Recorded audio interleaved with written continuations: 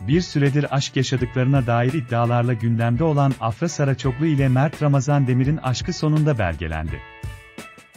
Göcek'te tatil yapan çift, romantik anlar yaşarken objektiflere yansıdı.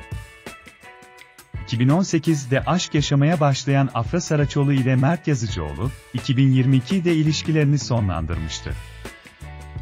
Yazıcıoğlu ile 5 yıl önce rol aldığı bir filmin setinde tanışan Saraçoğlu'nun birlikteliğinin, ihanet, nedeniyle bittiği ileri sürülmüştü. Afra Saraçoğlu'nun rol arkadaşı Mert Ramazan Demir'le samimi görüntüler vermesinin çiftin ayrılmasına neden olduğu konuşuluyordu.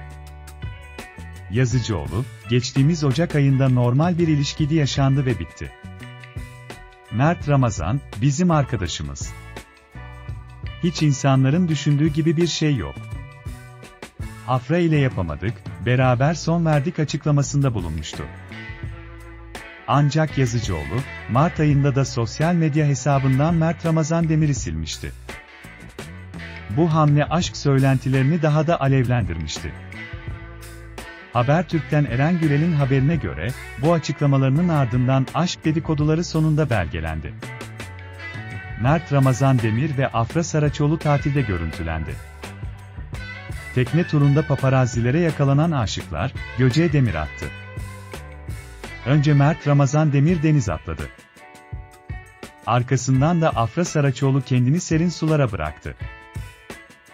Denizin ve güneşin tadını çıkaran aşıklar, denizde romantik anlar yaşadı. Çift, birbirlerine öpücüklere boğdu. Bu fotoğraflara Mert Yazıcıoğlu'nun ne diyeceği ise merak konusu oldu.